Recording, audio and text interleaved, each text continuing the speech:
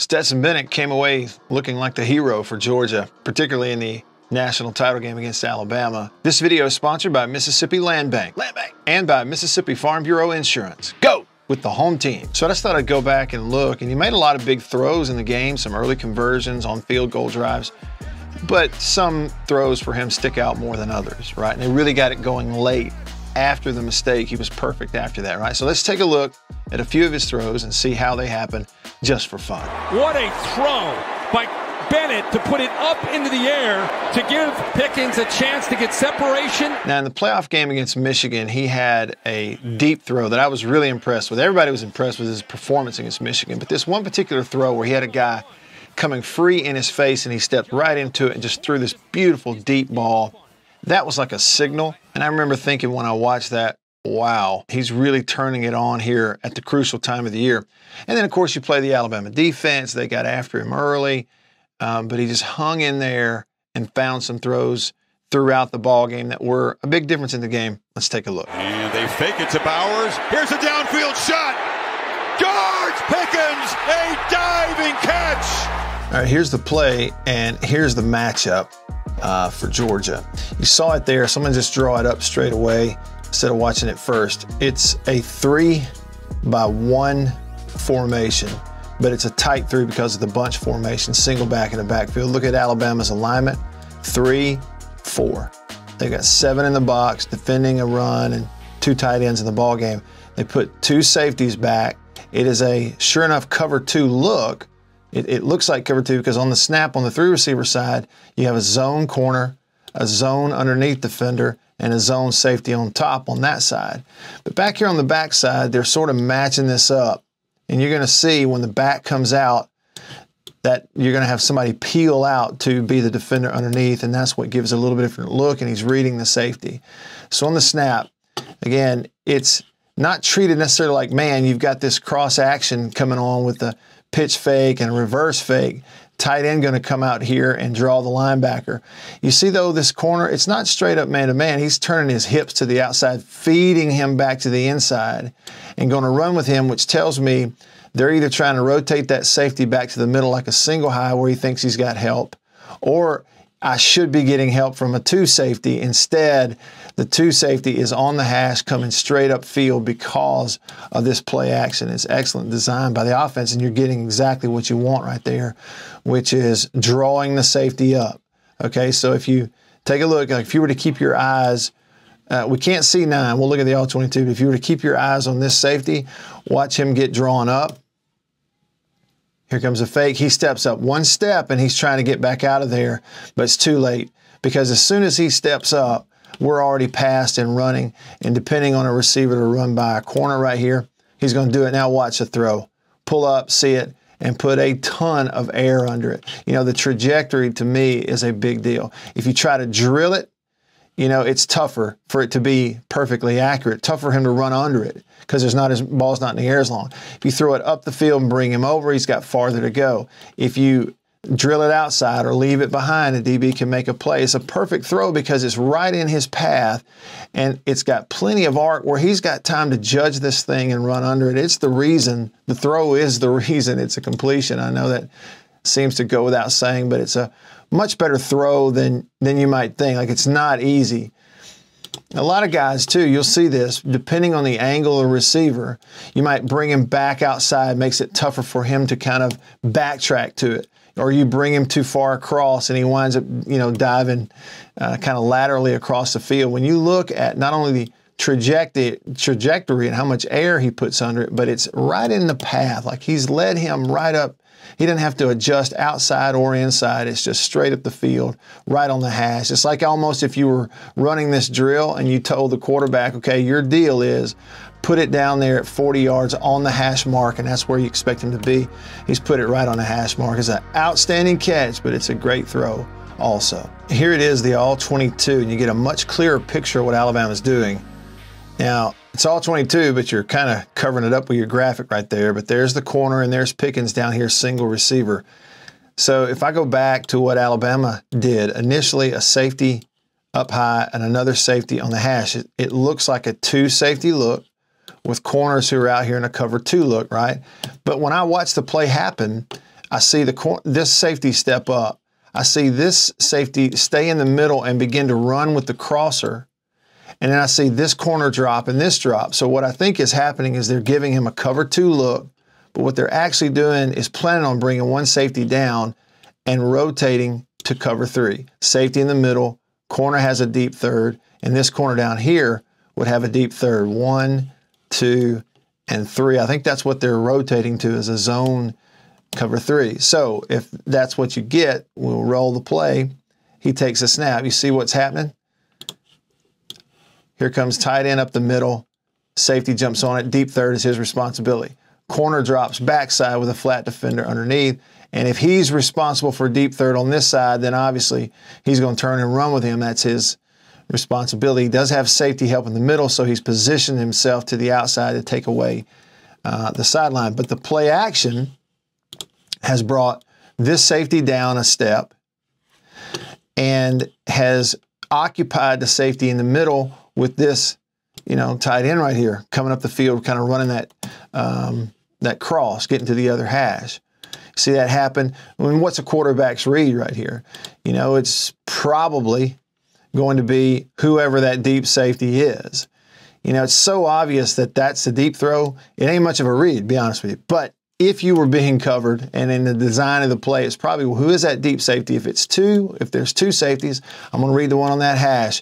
I'm either going to come here or over his head. We're going to put him in conflict. If it's one safety, same thing. I'm going to read him. If he's lateral, I'm going deep. If I see him retreating, I'm going to expect this guy to find my hole over here and throw it to him. You know, that's probably the read. So in this case, they rotate to cover three. I think his eyes are on that safety. It looks like they are right now. And again, it's a really clear lead that the ball should go to the outside and go back to the throw. It's a perfect throw up the hash and outstanding catch. Tight end Fitzpatrick. Now another flag. Bennett launching. Mitchell. Caught it. Touchdown, Georgia. Here's a big play, fourth quarter and Alabama actually ahead in the ball game, and Georgia's going to score on a free play because of an offsides. Now, Georgia's in two by two. You can't see one that's off the screen, so four receivers, two by two, single back. And Alabama's lining up with four on the line of scrimmage, two linebackers in the middle. There's six in the box. And it's a matter of like where are they coming from? Are they going to come? Are they going to cover what? Here's what happens on the play is what Alabama's doing is they've lined up four on the front but they're going to drop the two off the edge and bring the two in the middle. Okay, so it's still going to be a four-man rush. It's just not this four. It's actually going to be the two down and the two linebackers. Okay, those four are coming, and the outside guys are going to drop in coverage. Just trying to confuse your protection a little bit right here. So Alabama's a little anxious, right? And so they get caught on a snap, trying to time the snap. They show you what they're doing. Linebacker steps down and uh, you get a guy jumping into the neutral zone right here. And it's not by much. Like he doesn't jump way across the neutral zone. He just nudges right there across the ball. Uh, center snaps it perfectly. He's now snapped it with him in the neutral zone, so you have a free play. The thing that's interesting to me is the only flag I see coming in here that's thrown is from this official on this side, which is to the backside away from the vision of the quarterback as he looks to the right. I couldn't see a flag thrown over here. So I'm, I just, I say that because, you know, a quarterback, if you know you're offsides and I have a free play, it's easy to make this decision and pump it down the field. And I'm just, I, I would love to know from the quarterback how he knew this was a free play. Because you see right now, I don't, I mean, no flag. He's assuming we've gotten him off sides. he looks to his right and throws the go route up the sideline. And I don't know that he ever saw a flag or if it's just assuming, taking a chance that it's a free play. You know, again, the flag comes over here. And two, he never looks this way on the free play. This receiver on the backside actually beat his man worse and, or I say better than the guy on the far right. He's just taking that matchup. I think part of it too the reason that he takes that side is because of this. Okay, we got free play, but they're bringing a guy in the middle. He's breathing down my neck into the backfield quickly. My back does pick it up. See, he's already made the decision. I'm going to escape this way, and so that takes his eyes away from, you know, this backside of the field. And then pump it up there, free play. But again, I, maybe it's over here and I don't see it. I don't see a flag over here on this side of the field. There's not one in the middle. I think he's just knowing, okay, we got him. I'm taking a chance here without actually having to see a flag to know. And then this is an example of that 50 50 ball. You know, we've got the Alabama um, uh, video that I made about Bryce Young not getting catches. I'll give you a link up here if you want to click that and watch that. See, so this is an example of Georgia, a young guy winning a 50-50 ball. It's not a perfect throw. It's actually a little behind. You see that, see him reaching back. It's not out in front. It's actually a little on the back shoulder. He's reaching back to go make this play. He's just winning the 50-50 ball instead of the DB. It's an example of, of Georgia won 50-50s on both sides of the ball in this game, and Alabama did not. See, again, you know, a little bit of contact, nothing major, but he goes back and makes the play. And, you know, it's it's an example of a receiver making a play for his quarterback. Okay, here's the all 22. Receiver is still off the screen, even in the all 22, but that's where you're going with the football. And of course, here is where you get a guy in the neutral zone on the, and, and you snap it with his hand in the neutral zone and you get him. Um, what Alabama is doing coverage-wise, what they plan to do, they put the two safeties in the middle against the four receivers. You can see on the coverage, they're going soft corner, quarter of the field, safety, quarter of the field, other safety, quarter, I mean, uh, half of the field. Okay, it's what it looks like to me. Quarter, quarter, half is what the coverage looks like to me because this corner was going to be an underneath if anybody threatened him, because that's why he's turning him loose up the field right there. So it's quarter, quarter, half coverage. So with a cornerback, you you know, if you're Alabama's coach, you're saying we shouldn't get beat right here. It's just a 50-50 ball thrown up by the QB. So when you when you watch it, watch the guy over the guard. He jumps in the neutral zone right there, as we talked about from the previous view. They're bringing two in the middle. He's if he's in the neutral zone, it's barely by the you know the tip of his nose right there, and the center goes ahead and snaps it. And so, you know, as a quarterback, I'm I'm assuming I've got him right here. Okay. And again, like we talked, this is sort of that sixth sense that a winning quarterback has to have. He doesn't see a flag. There is no flag to look at. I'm assuming I've got this, I believe. You know, again, eyes in the middle of the field, watch the safety stay there. I'm going to go to that outside. Pressure moves him over and then just pump it out there. I mean, at the time that he's throwing the ball, if you look, he's already throwing the football as the official is throwing the flag for offside. So again, it's not like he saw a yellow flag to know for sure I have a free shot. He's it's a sixth sense here. I know I'm going to take this. I'm assuming we got him in the neutral zone. I'm going to take this because also you look, I mean, they're even right here. He's not open. He has not run by him. It's not like you got some big red flag out here going, oh, he's wide open, give it to him. No, he's assuming free play even though I haven't seen a flag, I'm putting it up for him to take a chance right here, and it works out. As Bruce Arians says, no risk it, no biscuit. And here's that late touchdown to Bowers, lined up here as a tight tight end. Let's just break it down real quick.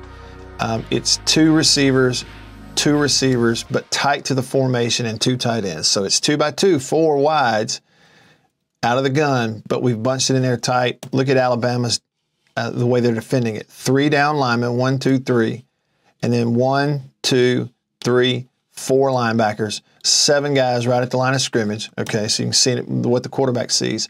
Safety walk down over tight end, safety walk down over tight end, corner bump coverage, corner bump coverage. This is straight what we would call zero coverage because there's zero guys back deep in uh, safety or help coverage uh, at all. So what is uh, Georgia called? It's a great play call for this look defensively. It's going to be RPO zone read ish. Now, again, whatever they've called in terms of how they read it, I don't know. I'm not in the huddle. Whether or not this is an actual read or a dead giveaway or it's just a pull, I, I don't know how they've called it. But, you know, there's the chance that you're reading the in man unblocked right? Because the tackle's down on the first inside. And so it's a chance you read that depending on how it's called. And if it is, it'd be the right read, right? Because he's inside. So I know automatically as a quarterback, I'm going to pull and go to the next read. And then what is the next read? Next read would be that sixth or seventh defender just outside. But in this case, it'd be the eighth because of their defensive alignment. You know, if he runs out, I got the option to pull and run myself. Uh, if not, we're going to pull it up and throw it. So read one, pull, read two, immediately it's throw that screen. Now, again, it does look like a screen call. It could be an adjustment at the line of scrimmage on bump. Receiver's already blocking, and now I know I'm going to give it to my tight end out here. And it's just an excellent play call because unless he really sprints, if that's his coverage responsibility in man to man, he still can't get there. Now, and I think they might have actually pointed that out in the broadcast, saying, okay, look, if this indeed is the call, fire and fire off the edge by the safety, then that means we're in man to man. That's that tight end's got to be somebody's responsibility in man coverage, and right here they're slow to get out there. So pull it, throw it, and here we are. Now it's one on one. This is a no chance. If this block is happening, then we've scored right now. You can go ahead and strike up the band and start the celebration because once you get this look, if they give you that look against that play call um, and we complete it, there's no stopping it. We just need one block or even a little bit of a block, and you're not stopping 19 from getting in the end zone right there. You see his eyes in, pull, and throw it out. Great play call at the exact time they needed it against that defensive look for Alabama. So hats off, literally, to Stetson Bennett. Such a great story, such a great competitor. And he's really an inspiration, I think, to a lot of people that you just, you keep plugging and scratching and clawing and working and eventually something's going to come out the other end. So um, proud to see that happen for him. Thanks for watching. I'll see you on the next one.